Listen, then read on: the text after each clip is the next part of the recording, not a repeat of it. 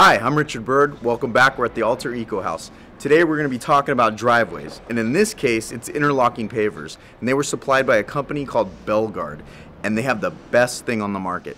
This product is a permeable paver. Basically, you could just pour water through this paver right into the ground. It's amazing. And today I have Bill from Belgard, Belgard Bill, here to tell me how it all works. So you must be Bill. Yep, Belgard Bill, Richard. How you Pleasure to doing, meet you. Bill? Good to meet you too. I Yeah. heard a lot about you, and I know you supplied the coolest uh, paver system I've ever seen. Right, we're So- taking pavers to a different level.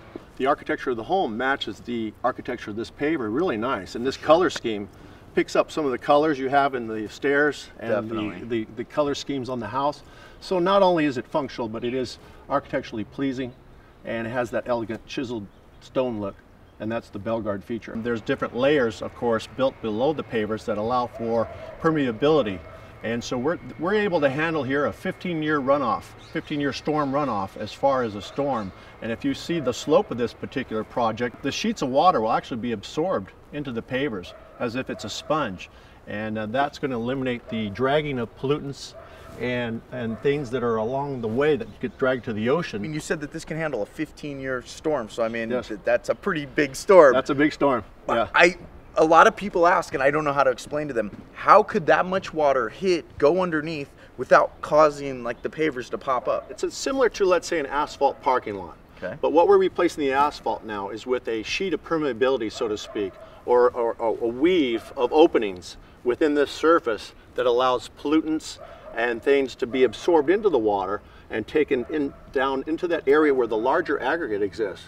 So what we're doing, and in your project where you've created, is a whole absorption and water management of this big storm that could come. Southern California, you know, we typically have 52 days of bad rain. But in that, there's some heavy rains that can affect, uh, obviously, some conditions here for being able to get into the driveway and into the slope of this, this project. People really don't realize that all that water goes straight down to Long Beach, and that's why it's so polluted here in California. That's so correct. all, all this runoff.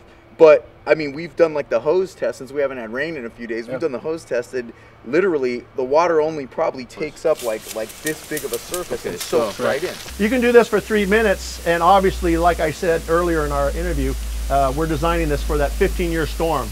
So imagine heavy sheets of water coming off the roof line, hitting the ground here, uh, your car coming up the driveway.